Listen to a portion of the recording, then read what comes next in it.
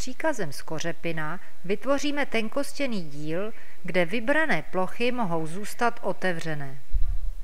Připravíme si vhodný model. Na přední rovinu naskicujeme čtverec o rozměrech 40 x 40 mm.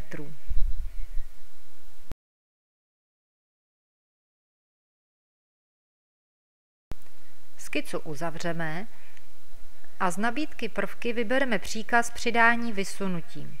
Vysuneme do výšky 20 mm.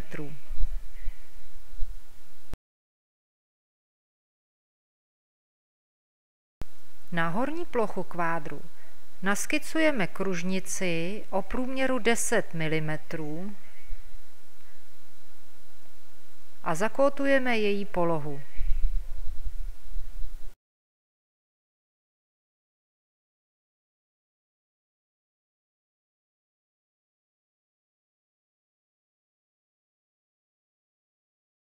Skicu ukončíme a z nabídky prvky opět vybereme příkaz přidání vysunutím. Výstupek vysuneme do výšky 5 mm. A ukončíme. Na horní plochu válce naskicujeme další kružnici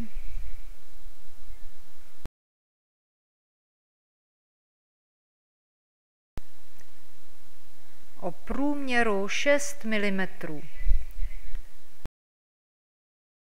Ukončíme a z nabídky prvky vybereme příkaz odebrat vysunutím a odebereme do hloubky 4 mm. Z nabídky prvky vybereme příkaz zaoblení a zaoblíme poloměrem 1 mm všechny kruhové hrany válce.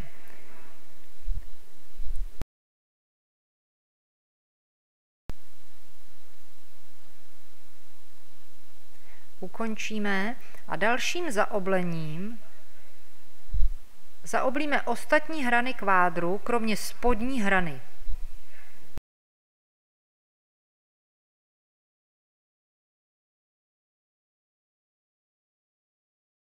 Nyní si vytvoříme lineární pole z válcových zaoblených výstupků. Proto jsme proces zaoblování rozdělili, aby se nám nyní do pole nevybíraly nevhodné prvky. Jako směr 1 určíme vodorovnou hranu, vzdálenost výstupků 20 mm a budou 2. Totež platí pro směr 2. Svislí, do pole vybrané prvky, vybereme vše, co potřebujeme kopírovat, tedy přidání vysunutím 2, odebrání vysunutím 1 a zaoblit 1. Potvrdíme Entrem a tím jsme si vytvořili polotovar pro naší skořepinu. Z nabídky prvky vybereme příkaz skořepina. V manažeru vlastností do pole parametry zadáme potřebnou tloušťku skořepiny půl milimetru a vybereme plochu k odstranění, teda podstavu kostky.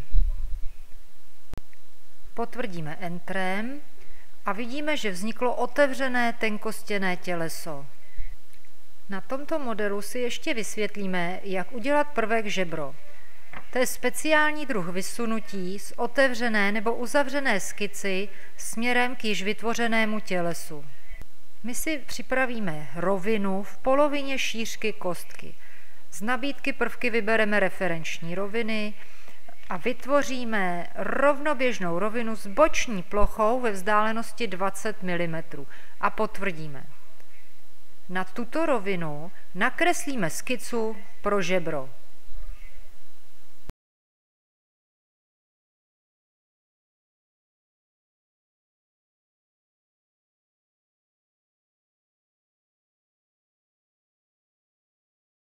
zakótujeme.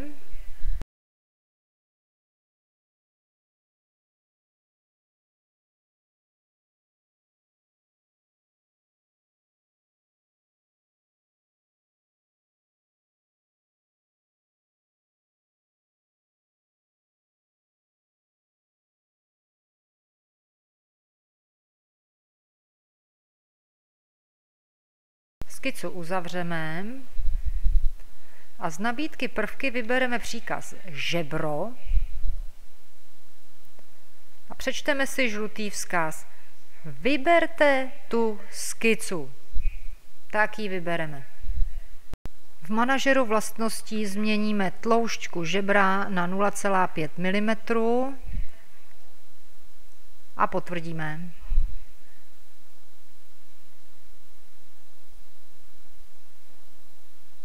A vidíme, že žebro se vytvořilo.